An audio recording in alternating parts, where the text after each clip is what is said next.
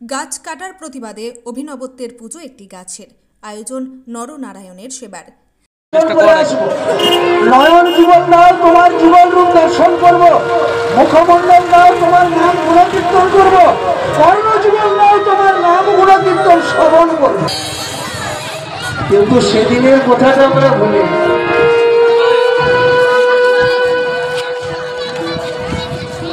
যখনই মাতৃ গর্ভ হতে ভূমিষ্ঠে এলাম, দিকে দিকে যখন একের পর এক গাছ কাটার যোগ্য চলছে, তখন একটি গাছকে দেবতারূপে প্রতিষ্ঠা করে অভিনবত্বের পুজোয় মেতে উঠল নবাসন ও পার্শ্ববর্তী গ্রামের একদল যুবক। তারা সমাজকে বার্তা দিলেন, গাছ নিধন শুধু অন্যায় নয়, ক্ষতি সমাজেরও। বিশেষ করে মনুষ্য সমাজের। কারণ গাছ শুধু প্রাকৃতিক ভারসাম্য রক্ষা করেই না, সমস্ত প্রাণীকুলের কাছে অতি আবশ্যক অক্সিজেন, যা সামান্য সময়ে প্রাণীকুল শ্বাসের মাধ্যমে না গ্রহণ করলে বাঁচতে পারে না। সেই অপরিহার্য অক্সিজেনের যোগানদাতা গাছ। অতএব প্রয়োজনে অপ্রয়োজনে গাছ কাটার আগে একবার নয়, দশ বার ভাবুন। গাছ বাঁচান, নিজে বাঁচুন এবং অপরকে বাঁচতে দিন।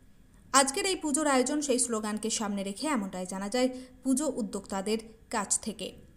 গোঘাট নবাসনের গির্জাতলাতে এই অভিনব পুজোর আয়োজন করেন উদ্যোক্তারা।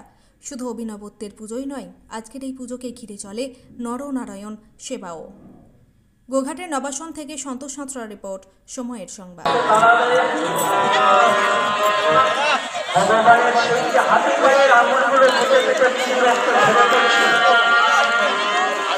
ভগবানের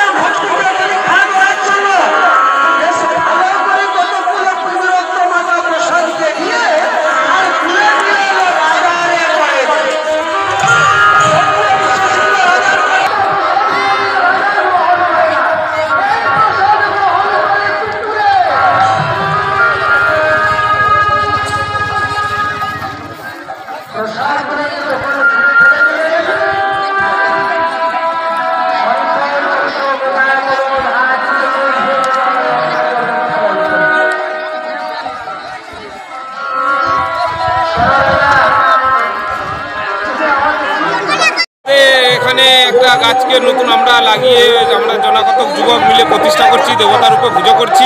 তার জন্য এখানে নরনারায়ণ সেবা করা হচ্ছে সবার জন্য, যাতে আমাদের বার্তা একটাই, প্রকৃতিতে যেমন গাছ বেঁচে থাকুক, মানুষ বেঁচে থাকুক, সেরকম গাছও বেঁচে থাকুক। গাছ লাগাও সবাই, গাছের উপকারিতা অনেক। এটা বোঝানোর জন্য আমরা গাছকে দেব- দেবতার উপর পুজো করে যাচ্ছি। প্রত্যেক বছর যেমন করতে পারি, সেই উৎসাহ আমরা উৎসাহ অনেক লোকের কাছ থেকে পেয়েছি। বা আমাদের আশাও আছে পরের বছর আরও বড় করে করা। আপনার নাম দাদা? শান্তনু পণ্ডিত বাড়ি? ভাবা দেখি ধন্যবাদ।